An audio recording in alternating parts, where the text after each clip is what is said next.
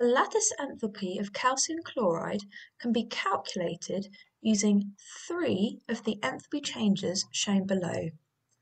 And for this question, we need to identify which enthalpy change is not required. So the four options we have here are the enthalpy change of solution of calcium chloride, the enthalpy change of hydration of the chloride ions, the enthalpy change of formation of the calcium chloride, and the enthalpy change of hydration of the calcium ions.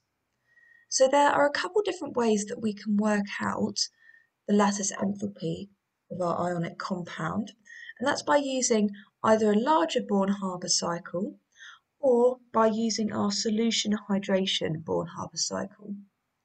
So the larger Born-Haber cycle involves formation enthalpies, atomization enthalpies, ionization enthalpies, electron affinities, and so on and so forth.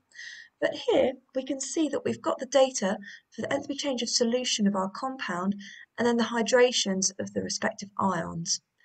So if I just draw out what a cycle would look like, then we can see which enthalpy change we do not need.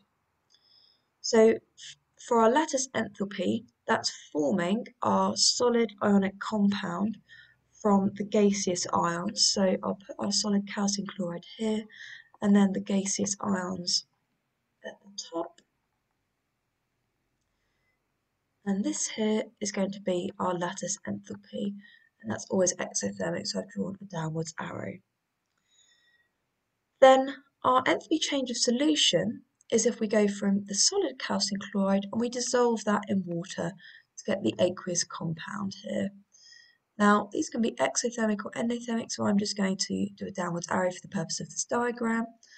So this is our enthalpy change of the solution for the calcium chloride. So then just to finish off this cycle, all we actually need is just going to be the hydration values of the ions. So that's where we go from the gaseous ions to the aqueous solution. So we're hydrating the ions with the water. So this is our hydration enthalpy. And then what we can see from this cycle is that we don't actually need the enthalpy change of formation of calcium chloride in order to work out this lattice enthalpy because we've not got our calcium and our chlorine in elemental form in order to form that solid. Therefore, our answer is going to be C.